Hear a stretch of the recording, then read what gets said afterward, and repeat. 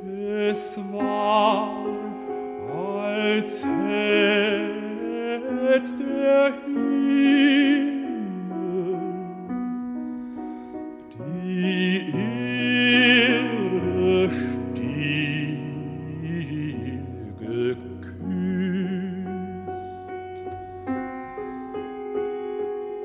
dass sie im Blüten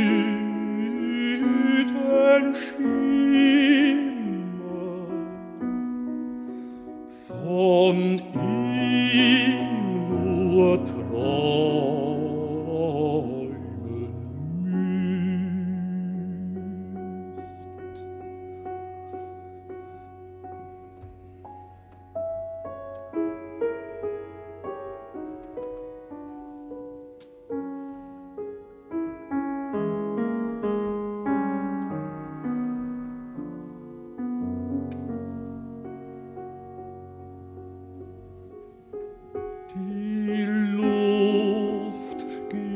do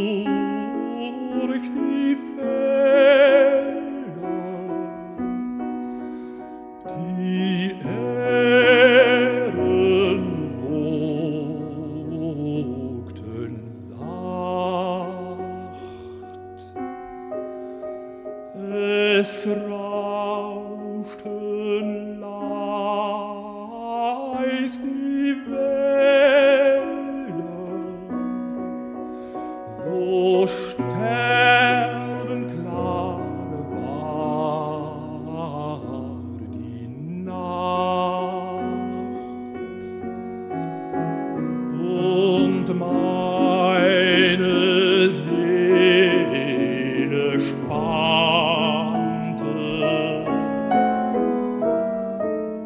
Weit ihre Flügel